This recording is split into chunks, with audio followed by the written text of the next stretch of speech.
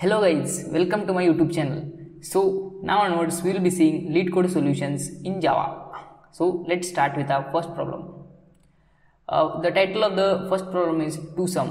Let's read the description of the problem. So description says given an array of integers nums and an integer target. Return indices of two numbers such that they add up to target.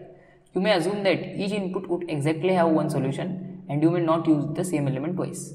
You can return the answer in any order. For this uh, problem, we will be using full brute force method. So first we will be taking two arrays. Oh, single array of size 2. Let's uh, the name of the array is C. Uh, so let's uh, declare the array. Mm, yes, this will, this array we will be returning at the end of the uh, end of the method. So we will be using two for loops.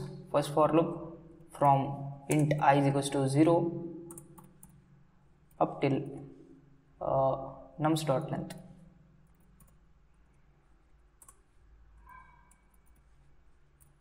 i plus plus.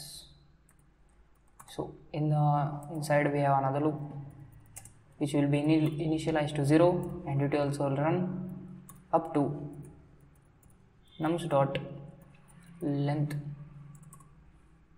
length plus so in this we have to write a condition. If nums of i plus nums of g is equals to is equals to target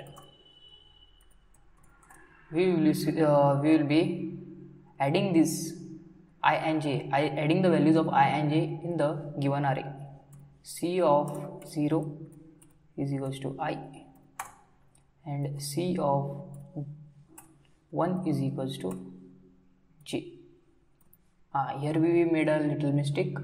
This will be start this inside loop will be starting from i plus 1 so we will satisfy this condition. This uh, means uh, uh, you may not use the same element twice.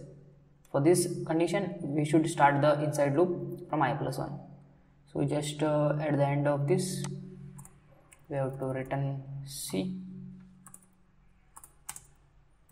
C and yes. Yes all cases are accepted.